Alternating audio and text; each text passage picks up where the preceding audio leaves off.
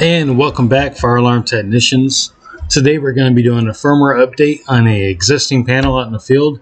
The panel is a 922. This is going to be for 922 or 924 firmware update. Again, this is for a panel out in the field. It already has a program running on it, but you need a firmware update. This will not be for voice panels, just for the basic fire alarm panel. What I like to start off by doing is connecting to the panel and downloading the most current version that's on there onto your computer, just for safe measure. So as you see, I already have the program open in front of me. I'm already connected to the panel, so let's proceed. We go to File, New Site, and Transfer from Panel. Now, I've included a little error message here and showing you how to get around it. So I'm be connecting, and I just sit here and wait.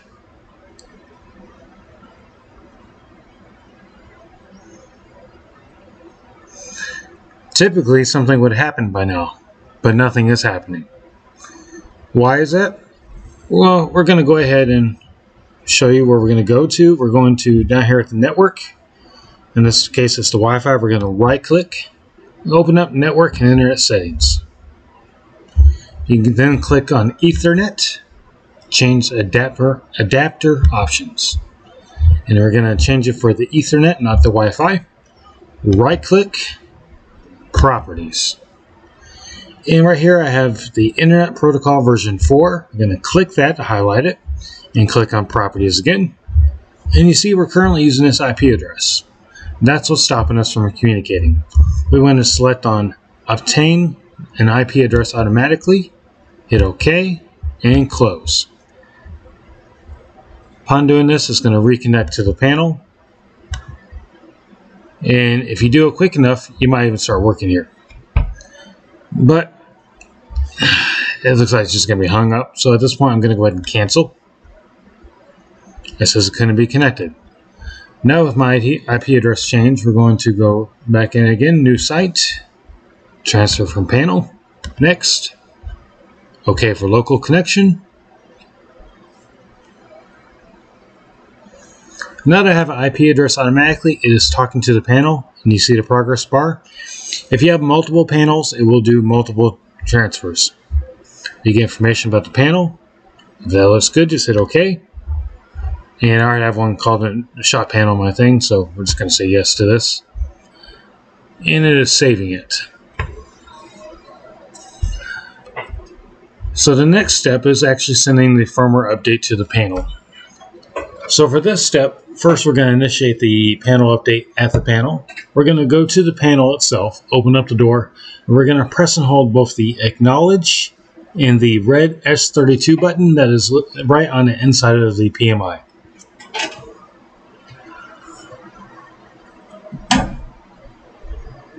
Press and hold both at the same time for about five seconds.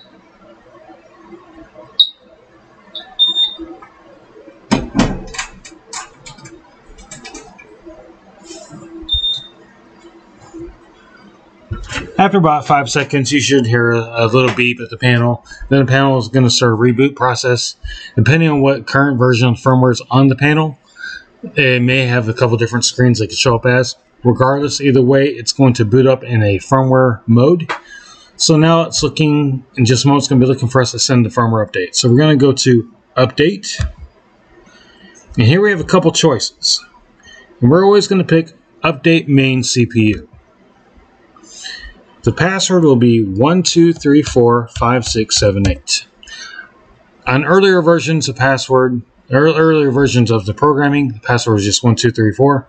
Newer, newer versions, it's 1 through 8. Hit OK.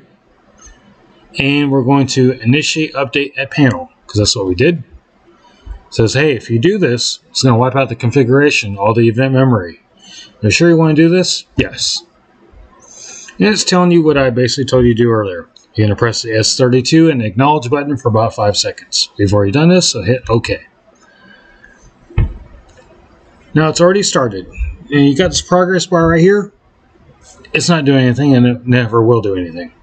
But if you look at the bottom right, down here it says firmware update for host. It has a transferring, it has a percentage. I do not recommend running on background. Just go ahead and keep it up top. Now you can skip ahead if you want to just go ahead and get to the end of the firmware update to get to the next step. But while we're waiting, I'm going to tell you why we're not doing the update main and additional CPU. If you clicked that update earlier, you saw there were several options. There was update main CPU, update additional CPUs, and then a third option, update main and additional CPUs. Now, what is most efficient is if you update the main and additional CPUs. It will connect your computer to the panel and update everything all at once. The reason why I do not recommend doing this is while your computer is hooked up to the panel doing a firmware update, it is actively erasing everything on the chip, then dumping a new set of firmware on the chip. And for any reason at that time, the connection is broken, the chip is ruined. There's no way to restart the firmware update on that chip. You'll have to send back the hardware back to Siemens. So we went as little time as possible connected to the um, the chip for a firmware update. So we do update main CPU only. And once that's done, the main CPU on the farm on the panel itself can update everything else. You don't need a computer for it. So once again, update main CPU only. Unless you want to take your chances. I've had to send hardware back to Siemens. Now, if you notice down here, we got a window saying the firmware transfer has finished. It is now safe to disconnect from that host. No, it is not. I see we're only 60% done. It is not safe to disconnect. Ignore this first pop-up. Until you see that 60% turn to 100% and there's no longer any progress bar, do not disconnect.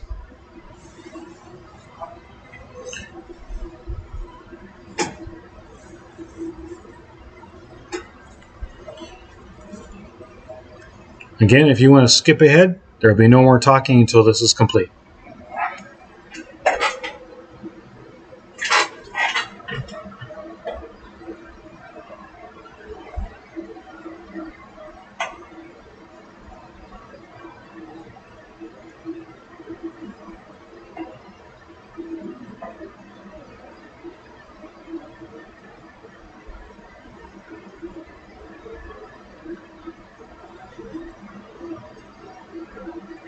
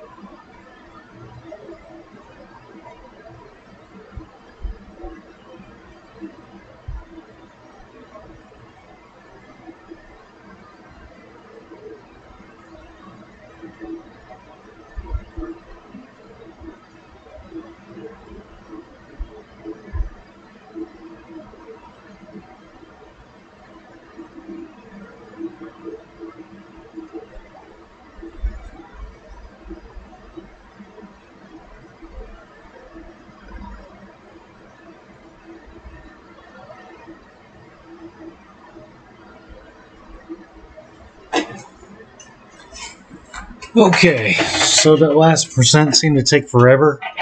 It seemed to be stuck in 60 and then 70 for a long time. But now we got two firmwares have, have populated here. The progress bar has stopped. Now this is kind of a flaw of Siemens. You see, it still looks like it's running here.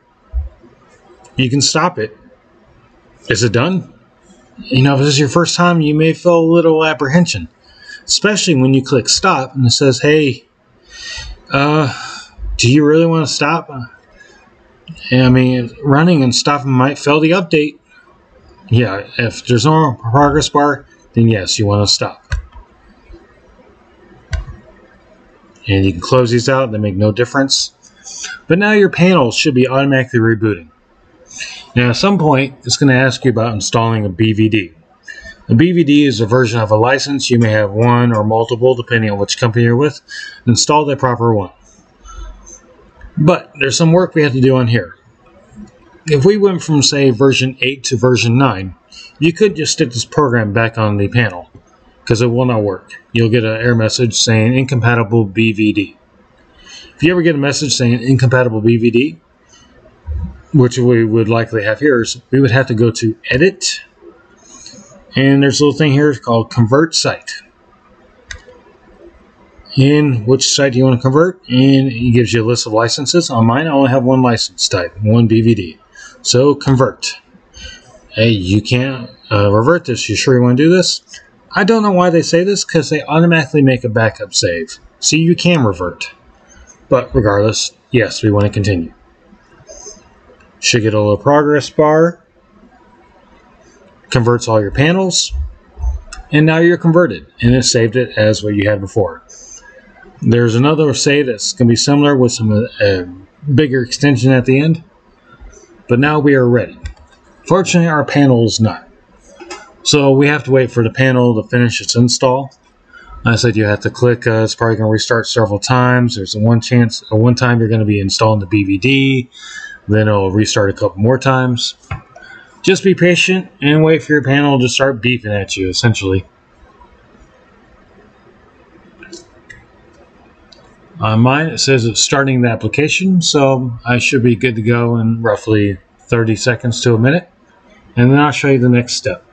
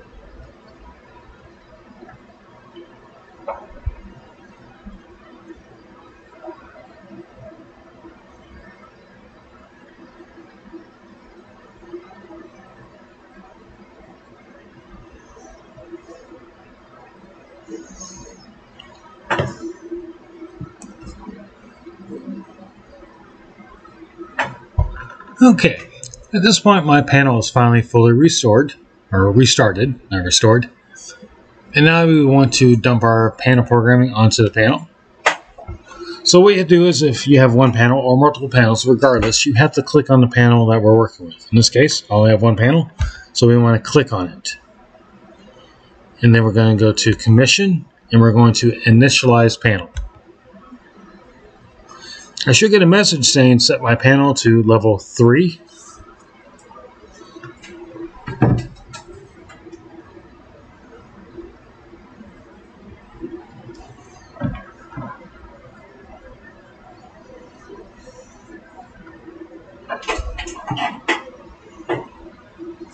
That is, as soon as it establishes a good connection.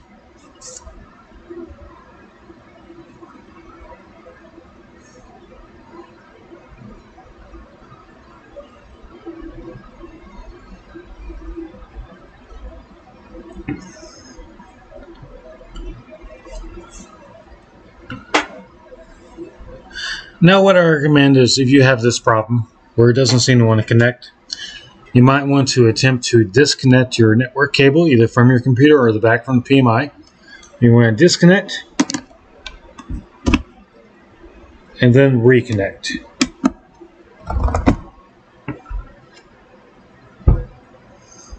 Then I would cancel out of this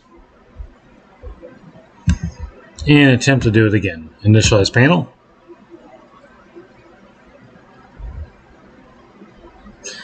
By refreshing the connection, it all of a sudden was able to communicate. Now, before I start this, I'm going to show you if I didn't click on the panel, we will get error message. Commission, initialize panel.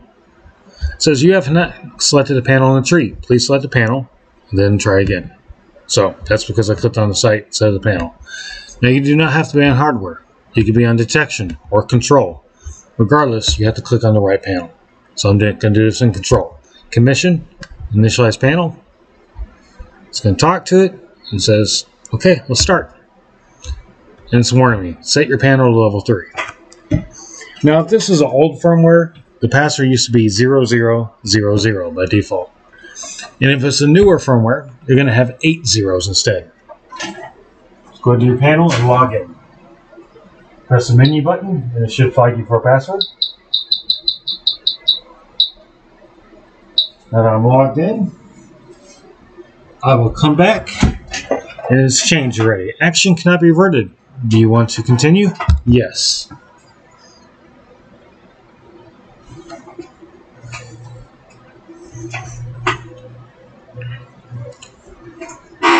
After initializing, your panel will reboot again.